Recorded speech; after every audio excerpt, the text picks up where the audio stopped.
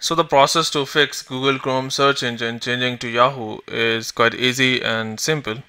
So what you need to do is it is a persistent problem and you'll have to look for multiple uh, ways it could be removed.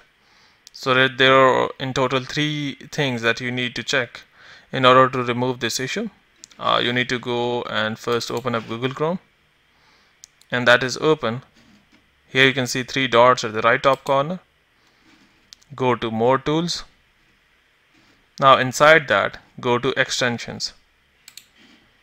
Inside extensions you need to see uh, the extensions which you have not installed or which you do not require.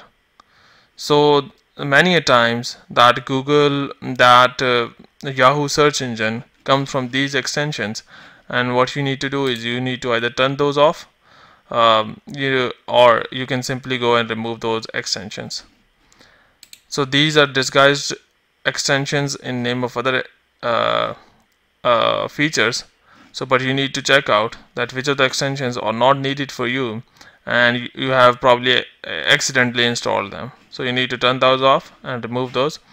And that is the first solution and uh, in mm, 90% of the cases your problem will be solved by removing the extension. Now the next is again go to these three dots. The second thing is go to settings. Scroll down. And here you can see reset and cleanup. First you need to go and clean up computer. And here it says find harmful software. So simply go and tap on find. And it will take a few moments to check out if there are any harmful uh, softwares installed on your Google Chrome browser.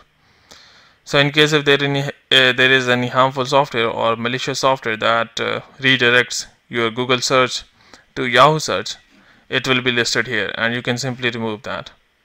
In my case, there isn't anyone, so it would simply return no harmful software found. And once that is complete, third step is again go to reset and cleanup it says restore settings to its original defaults. In case these both functions these both ways don't work what you need to do is what you can do is restore the settings to the original. So what it would do is it would reset the chrome settings and chrome shortcuts disable the extensions and delete cookies and other temporary data. But it says bookmarks history and saved password won't be affected. So you can simply go and reset the settings so hope by doing so you'll be able to uh, fix this issue of Google Chrome search engine changing to Yahoo. But before you go please like, subscribe and share. Thank you.